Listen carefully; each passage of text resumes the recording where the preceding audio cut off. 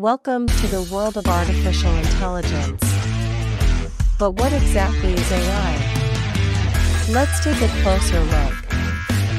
AI, or artificial intelligence, refers to the simulation of human intelligence in machines that are programmed to think and learn like humans. This can include tasks such as understanding natural language, recognizing images, and making decisions.